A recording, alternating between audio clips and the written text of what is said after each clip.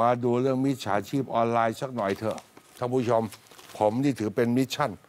วาระแห่งชาติส่วนตัวค่ะ จริงๆเพราะรู้สึกมันมากมาย เมื่อวานนี้อันนี้ก็ถือว่าใช่นะ เหตุการณ์8โมงครึ่งเมื่อวานหญิงวัยกลางคนกับเด็กหญิงอายุ 10 ขวบที่ชัยภูมิ มันนอนขวางถนนอยู่หน้าโรงพักเมืองชัยภูมิท่านผู้ชมฮะตำรวจ ต้องเข้าไปช่วยกันรถและพยุงสองแม่ลูกทราบในเวลาต่อมา ทั้งคู่นางนิสารัตคนแม่เนี่ยบอกตัดสินใจ ชวนลูกมานอนขวางถนนหน้าโรงพัก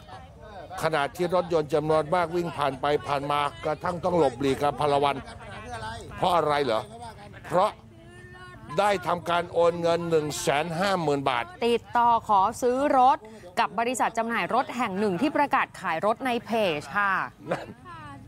หลังโอนเงินเธออ้างว่า เจ้าของเพจไม่เอารถมาให้ เธอก็เลยไปแจ้งความลงบันทึกประจำวันเอาไว้ที่สถานีตำรวจภูธรอำเภอเมืองชัยภูมิเมื่อประมาณ 2 เดือนที่แล้วอืมแต่จนถึงตอนนี้คดีไม่คืบหน้ารู้สึกเครียดจัด ไม่มีกระจิกกระใจจะทำอะไรและกลายเป็นโรคซึมเศร้าค่ะ ครับ ก็เลยคิดจะมาฆ่าตัวตายนะคะอืมมานอนขวางถนนหน้าโรงพักนี่แหละ เพื่อให้รถทับให้ตายเออทีนี้ดาบตำรวจนาวินท่านเข้าเวรอยู่ ท่านก็เอ๊ะทำไมชาวบ้านมองอะไรอยู่ตรงหน้าโรงพักก็เลยรีบออกไปดูก็เห็น ว่าแม่ลูกกำลังนอนขวางถนนกันอยู่ที่แรกคิดว่าอุบัติเหตุนะคะจนกระทั่งไปถามถึงได้รู้อ้าวโดนหลอกให้โอนเงินซื้อรถในเพจเอาแล้วเรื่องคดี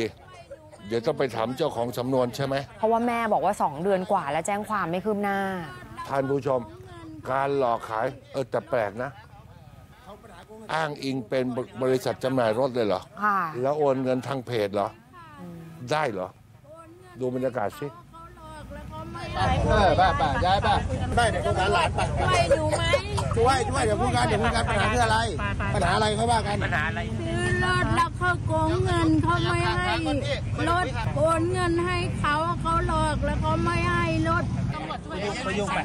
ยายไปทางนู้นไปยายไปทางนู้นก็ได้มาพักที่ไหน อยู่นครสวรรค์โอนเงินทางโทรศัพท์รถอะไรใหญ่รถสี่ประตูสี่ประตูรถยนต์เรามีเราได้แจ้งความมาได้ยังนี่แจ้งไปแล้ว แต่ไม่คืบหน้าอะไรเลย ที่นี่แหละค่ะแต่หลายเดือนแล้วค่ะตาอยากตายโอ้ยหลานโครงการหลานหลานยังไม่เข้าใจเนาะหลานไม่เข้าใจอยากตายตายแล้วจะได้ไม่ต้องบินมาได้ถ้าตายทั้งน้องจะอยู่กับใครโอนโอนไปเท่าไหร่ครับ โอนเงิน ประมาณแสนห้า นั่น ท่านผู้ชม